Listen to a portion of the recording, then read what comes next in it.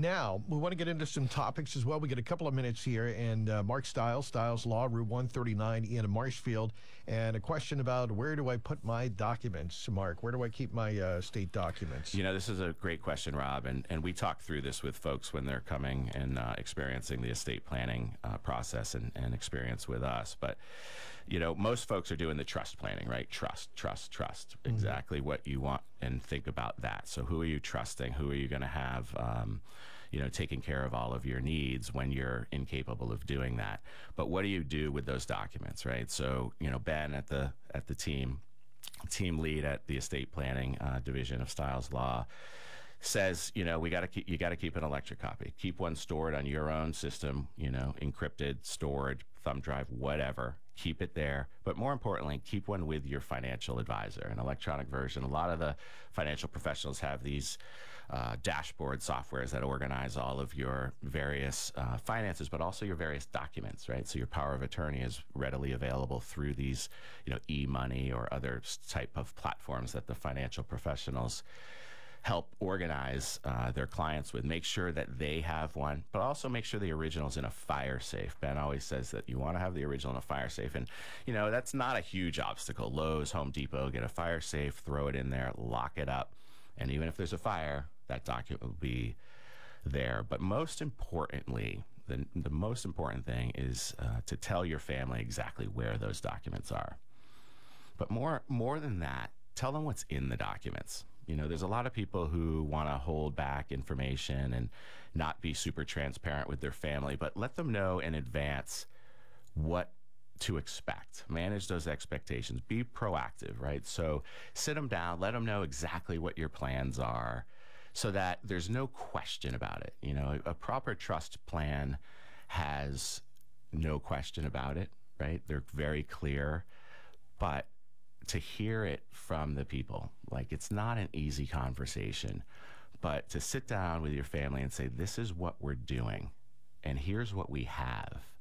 Right? A lot of people get uncomfortable around money, but it's really important for everyone to understand. And, you know, what we enjoy so much is the lifetime giving programs. And a lot of the financial professionals are with us on this, where it allows the person to gift out money while they're alive, as opposed to waiting until they've passed on and knowing peacefully they've done something really nice for their family, but to be able to do it while they're alive and they they can witness those vacations and those college plans and those things that will help folks out during their life and they get to witness and and be part of that.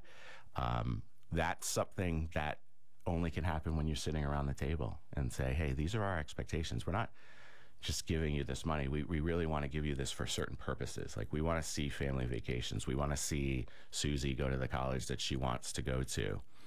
But let them know where those documents are. Let them know exactly um, what is going to happen because, you know, the book triggered me on the way in here listening to uh, the author of Drama Free, right? Yes. Probably an amazing book, right? I'm going to order it up if there's not an extra one here. And it's a good one to understand what you don't want to see happen, right? And how can you avoid that? One, read a book like that. But two, sit down and be transparent and open with your family and let them know this is what the deal is so that, you know, later on down the line, you can't look at your sibling and say, that's not what mom and dad said. Mm-hmm. You know, it's important. And it, and again, when we're being proactive and we're doing planning, we're attempting to f- keep folks from the court system, right? And probate court is real. It's a real court. It's there for a reason to help settle disputes, but maybe there doesn't need to be that if it's properly planned. Mark Stiles, Stiles Law, Route 139 in Marshfield, stiles-law.com. Get in touch with his great team. And Mark, how do we do that? Best way is phone, Rob, 781-319-1900, uh, 781-319-1900. But tell them that you heard us on the radio at WATD. And um, we would really appreciate knowing that. And we'll get you in touch with the proper planners, whether it's for real estate planning or estate planning. Love it. Mark Stiles, Stiles Law, Route 139, Marshfield, brought a prop today, folks. Again, if you're watching him on Instagram, I guess you're seeing it for the radio, though. That is a cool. Uh, it's so cool. Yeah. What are you going to do with that now? So I have one from last year more? too. Well, last year, oh, that's it. So last year I went to the very first annual. This is the second annual, and there was Yeah. no sophomore slump. I mean, this was Okay. like they they did it. You know, making a sequel to a movie sometimes doesn't work. This one worked. Yeah. Right. And it's going to keep going. So I'm, I'm looking forward to having ten of these. and- Okay. And, line them up and have some fun with it. I th- I'm looking forward to that. That'll be great. We'll maybe do some lawn bowling this summer. All right, Stiles Law. Thank you, Mark. Thank you, Rob. Have a great week, everybody. Have a great week.